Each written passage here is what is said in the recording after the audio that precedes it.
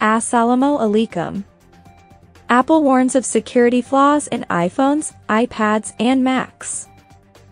San Francisco, Apple disclosed serious security vulnerabilities for iPhones, iPads, and Macs that could potentially allow attackers to take complete control of these devices. Apple released two security reports about the issue on Wednesday, although they didn't receive wide attention outside of tech publications.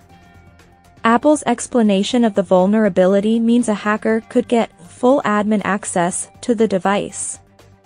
That would allow intruders to impersonate the device's owner and subsequently run any software in their name, said Rachel Tobac, CEO of Social Proof Security.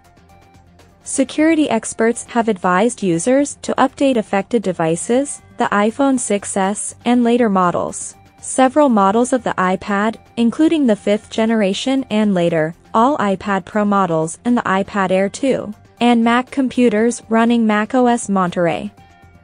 The flaw also affects some iPod models. Apple did not say in the reports how, where, or by whom the vulnerabilities were discovered. In all cases, it cited an anonymous researcher.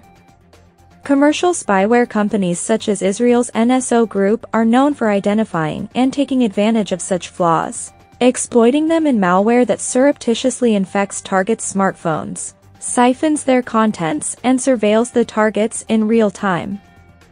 NSO Group has been blacklisted by the U.S.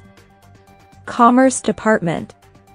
Its spyware is known to have been used in Europe, the Middle East, Africa and Latin America against journalists, dissidents and human rights activists.